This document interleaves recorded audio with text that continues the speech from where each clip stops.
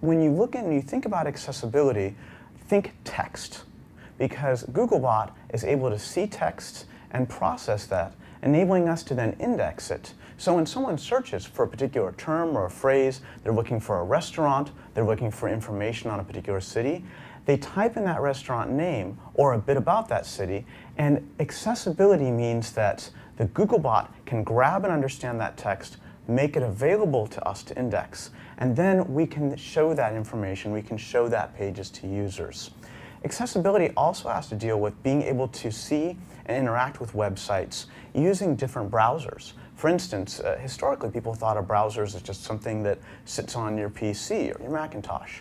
But more and more people are now accessing websites on their iPhone, on their BlackBerry. They're accessing the websites on a train with perhaps a low, a low bandwidth or high uh, latency. So as people access websites in different ways and have different needs, even different abilities, perhaps they're sight impaired and they're using a screen reader that reads out the text, it becomes more and more important for webmasters to focus on text.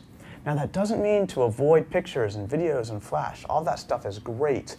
Think of it as color. It really augments the website. It decorates, it adds a bit of flair.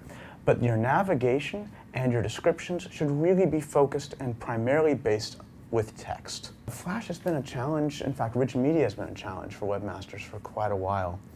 Uh, there's this oftentimes a tension between making sites beautiful, making them interactive, and also making them accessible. And so one of the strongest things we've been working on in, in, the outreach team here is how you can have both. So for years now, we've been aiming to be able to understand what's inside Flash better and better.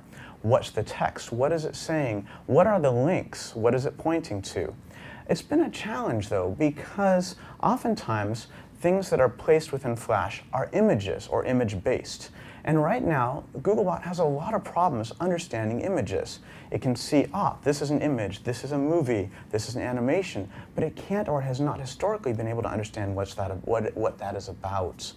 Uh, with this new announcement, this new partnership with Adobe, we're moving forward and being able to better understand what is inside Flash so we can understand the text better, we can understand the links better, so that when a website does feature a lot of Flash content, we should be able to better say, aha, this is what this is about. So when a webmaster searches on a particular topic, searches for a particular phrase, we're going to be more likely to be able to find that page, that site, even if that content is within Flash.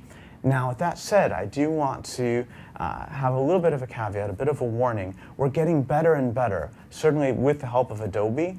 Uh, however, that doesn't mean to go hog wild and put all of your site into Flash if you haven't already done that. The best thing to do is still use Flash for augmentation, for engaging your users, but still focusing on text as the primary mechanism for communicating.